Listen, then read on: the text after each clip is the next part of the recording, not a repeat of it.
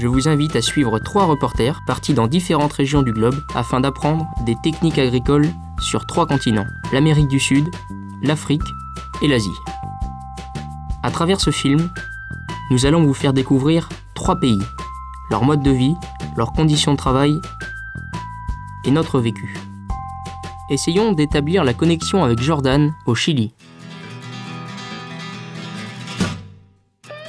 Hola hola amigos, une envie de découvrir Un désir d'ailleurs Un rêve Le Chili. Peuplé de 17 millions d'habitants, ce pays situé entre l'océan Pacifique et la cordillère des Andes m'a émerveillé par ses paysages et son agriculture très diversifiée. Aidé par la MFR de Ploudaniel, je trouve un stage sur l'île de Chiloé, au sud du pays. Chiloé est connu pour ses maisons multicolores, souvent sur pilotis. Cette île me fait penser à la Corse, en taille, mais également en termes de fierté et d'identité régionale. La famille Carcamo m'accueille sur son exploitation, après 40 heures de voyage. L'exploitation familiale produit du lait, avec une quarantaine de brebis de race locale, la Chilota, qui fait du lait riche en protéines.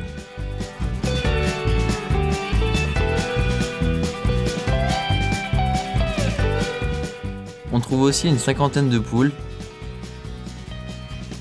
et trois porcs. L'ail est la première culture de l'île. Elle bénéficie d'un label de qualité. Les producteurs font partie du groupement bio de Chiloé, la CIPAM. Cette association se charge d'aider et collecter l'ail produite, de la transformer et de la commercialiser dans toute l'Amérique du Sud.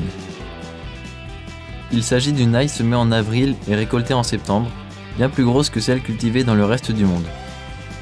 J'ai la chance d'arriver à la période du semis de l'ail et je participe à toutes les étapes de la production. Celle-ci dure 4 mois avec le travail du sol et le butage, en passant par le semis et la fertilisation. Préserver les méthodes ancestrales fait partie du cahier des charges, ce qui explique la faible mécanisation.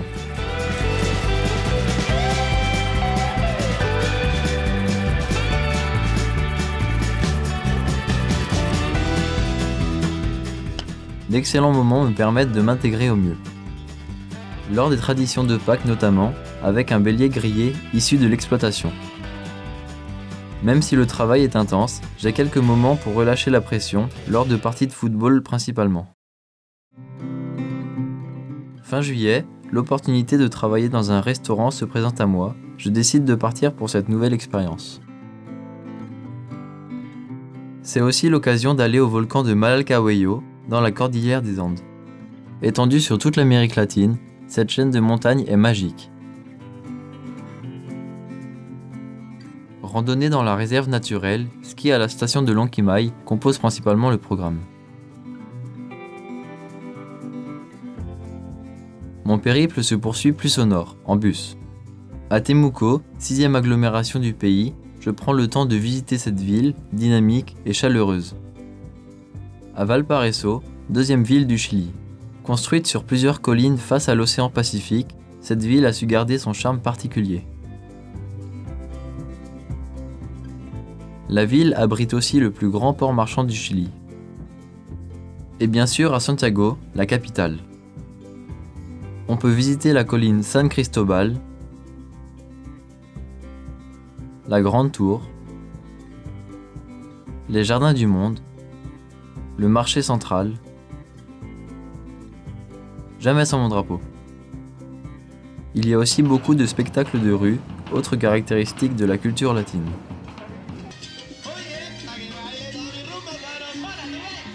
Mon aventure prend fin, heureux de revenir, mais très fier d'avoir vécu une expérience aussi enrichissante. Adios, El Chile. Maintenant que le Chili n'a plus aucun secret pour vous, direction le Sénégal avec Gwenola. Dioko, le Sénégal, son hospitalité, son soleil, sa chaleur, ses habitants. Un pays stable politiquement, de 15 millions d'habitants, dont la moitié a moins de 20 ans. 56% de sa population vit en zone rurale. Ce pays est un mélange de neuf ethnies différentes. La langue nationale est le Wolof, mais chaque ethnie parle à la sienne. On apprend aussi le français à l'école.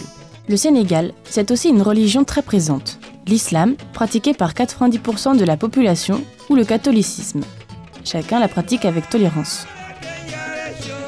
Malgré la pauvreté, chacun doit se débrouiller pour vivre, mais on donne tout pour aider sa famille. Mon aventure commence le 19 avril au pays de l'hospitalité, la Teranga. Dès mon arrivée, ce pays m'adopte tout de suite et je m'y vois bien pour 5 mois. J'atterris sur la côte ouest, au sud de Dakar, à Hambourg, et pose mes bagages au sein de l'association Natangé, très engagée dans l'éducation. Son école maternelle et primaire, ses formations de coiffure et couture accueillent aujourd'hui 400 élèves. En petite section, les cours sont en Wolof. À partir de la moyenne section, les élèves apprennent le français. Natangé est aussi très impliqué dans l'agriculture. Souley Diouf est responsable des projets agricoles au sein du GIE de l'association. Sa production permet notamment de fournir les goûters à l'école maternelle. Je commence mon travail au champ en avril, lors de la saison sèche. Les paysages sont particulièrement désertiques. Nous préparons les plants de gombo, tomates, navets, piments. Les femmes du GIE sont très actives. Elles ont toujours leur bébé avec elles.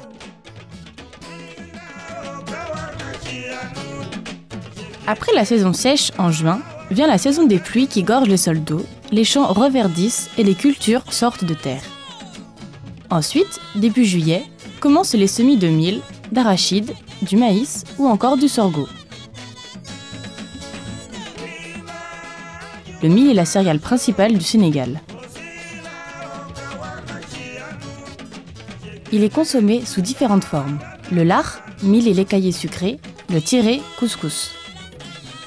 On se rend vite compte que l'agriculture manque de moyens. L'association a des partenaires aux États-Unis et en Europe. J'étais en stage avec un volontaire américain des Corps de la Paix. Les fêtes religieuses, Korité, Tabaski, le 15 août sont des moments importants où l'on se retrouve. J'ai la chance d'y être invité. À cette occasion, chacun fait faire de beaux vêtements traditionnels. Hambourg, il faut passer par le marché, immense, coloré et surtout vivant avec ses étals d'épices, de légumes frais. Un endroit de rencontre agréable où l'on trouve de tout. Il y a aussi un grand port de pêche avec plusieurs milliers de pirogues. Que retenir de ces cinq mois? L'accueil dès mon arrivée, l'ambiance du travail au champ, les chants avec les enfants, les fous rires, les échanges, la curiosité, les couleurs, les odeurs et surtout l'envie d'y retourner. Beau fête, Inch'Allah. Terminons notre périple en rejoignant Jérémy au Vietnam. Xin Chau, Ho Chi Minh.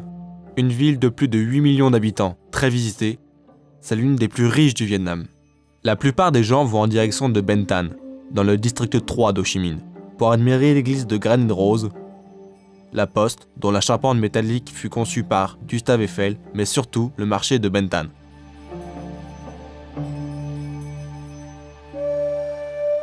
Le 12 avril, lors de mon arrivée au Vietnam, des étudiants de l'université d'agronomie m'attendent à l'aéroport. Je suis tout de suite bien accueilli.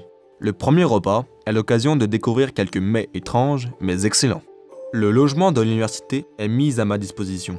C'est une guest house où j'ai de temps en temps la visite de scorpions, crapauds et autres. Mais tout va bien. Gyong, l'un des étudiants, mon maître de stage, me montre l'université. Je rencontre son professeur, le docteur Tan Pham. Nong Lam University est reconnu au Vietnam pour ses travaux de recherche en production végétale, animale, aquaculture, aquaponie et bâtiments de recherche et d'études. Je seconde Duong dans ses recherches sur le périlla. Le périlla est cultivé en pleine terre, sous bâche ou sous pelure de noix de coco. Le travail de culture et de recherche se fait sur le terrain,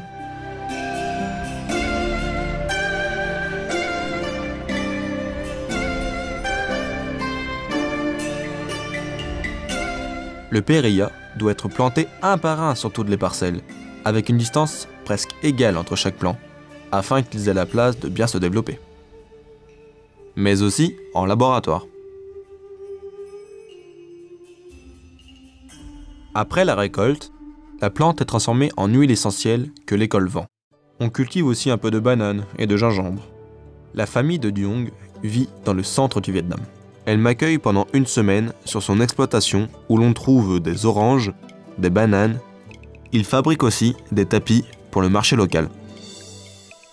Le contraste ville-campagne est saisissant. Les ruraux sont plus pauvres mais aussi heureux qu'en ville. En campagne, le commerce se fait dans la rue alors qu'en ville, il est beaucoup plus organisé. L'agriculture est très présente au Vietnam. 65% des gens travaillent dans l'agriculture. Beaucoup d'agriculteurs travaillent seulement pour leur famille. Je rencontre 5 Français qui étudient dans la même université que moi. Nous sommes partis tous les 6 pendant deux semaines au nord du Vietnam. La capitale, Hanoï, une ville fantastique.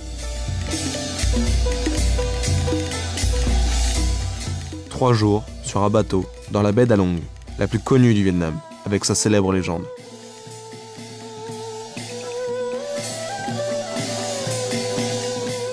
Puis, 4 jours à parcourir 250 km en scooter. On partage de bons moments dans les auberges avec les Vietnamiens et d'autres voyageurs étrangers. Durant le dernier mois, je pars seul à travers la Thaïlande,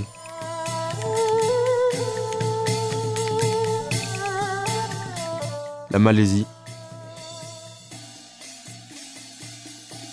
et Singapour. L'angoisse d'être seul a très vite disparu, grâce à la bienveillance des gens rencontrés dans les cafés internet qui me permet de trouver facilement un transport ou une chambre.